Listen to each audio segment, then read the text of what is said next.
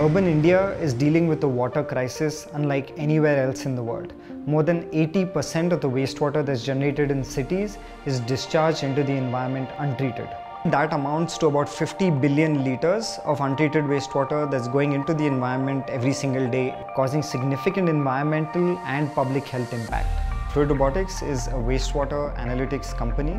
We work with wastewater utilities and contractors around the world to help monitor wastewater infrastructure. We hope to one day eliminate urban water pollution.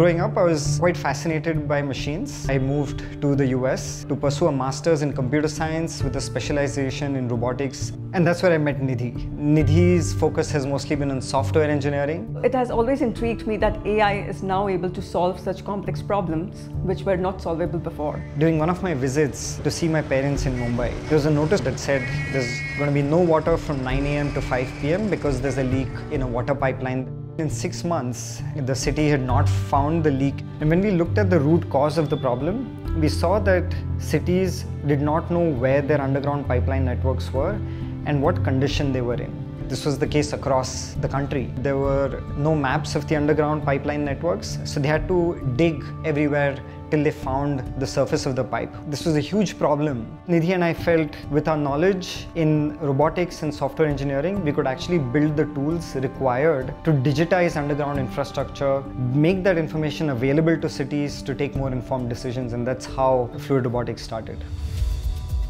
If you look at the water cycle in India, water originates at a dam or a reservoir. It is treated and then distributed to homes within the city. More than 50% of water is lost in distribution. Once that water is consumed, it enters the sewage network. More than 80% of it drains into lakes, rivers and coastlines. When cities discharge untreated wastewater into the environment, especially into rivers, that wastewater flows downstream and is consumed by villages and towns for drinking and agriculture. That leads to the spread of diseases, which not only impacts people in poorer communities, but it can affect affluent neighborhoods as well.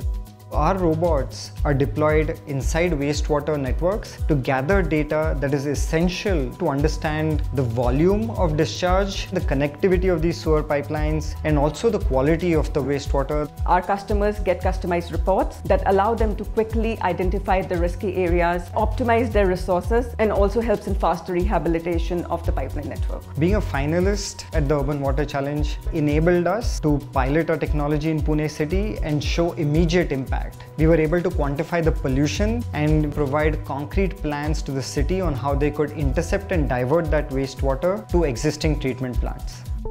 Because of our deployments, more than 700 million liters a day is being diverted for treatment and reuse across a dozen Indian cities.